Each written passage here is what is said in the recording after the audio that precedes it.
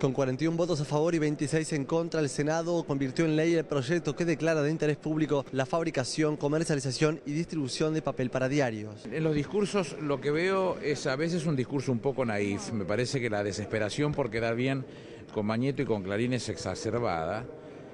Y en otros casos me parece casi este, como miran para el costado como perro que volteó la olla. Y lo que nosotros queremos graficar en esto, que no es una lucha contra nadie, que nosotros estamos rescatando el derecho del Estado porque una parte le pertenece al Estado, el 27,46% le pertenece al Estado y que durante mientras que cualquier empresa durante 10 años ganó entre el 300 y el 400%, Papel Prensa perdió el punto 5. Nos interesa que todos los diarios del país tengan libre acceso y que tengan un precio acorde eh, a lo que corresponde en el mercado y que eso le permita funcionar de la mejor manera. Si usted le está garantizando por la ley y hay dos comisiones, una bicameral eh, este, de seguimiento por parte del Congreso y una de los actores principales, porque es uno por provincia, más los sindicatos, más este, quienes trabajan específicamente con el papel, tiene garantizado que, que no hay forma que se burle esta condición de eh, de interés público del papel y que, y que garantían que los formatos que se vayan dando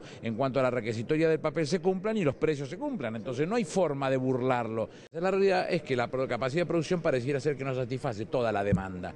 Entonces lo que va a haber que hacer es invertir. Va a haber que poner plata para que la empresa agrande su capacidad instalada y al agrandar su capacidad instalada pueda producir todo el papel necesario para poder garantizar el libre acceso, como estamos diciendo, por su condición de interés público del papel y al costo determinado. Eh, la ley no es inconstitucional, como se ha dicho, eh, no tiene que ver directamente con lo que expresa el artículo 32 de la Constitución Nacional, es un marco regulatorio que hoy no existe y por lo tanto ahora cambian un poco las reglas de juego, pero de las reglas de juego que cambian son las exigencias para la producción, el consumo interno del papel de lo producido en la Argentina y el equilibrio con el papel que se importa. Está garantizando un acceso igualitario a un insumo básico como es el, la pasta celulosa o el papel para diario.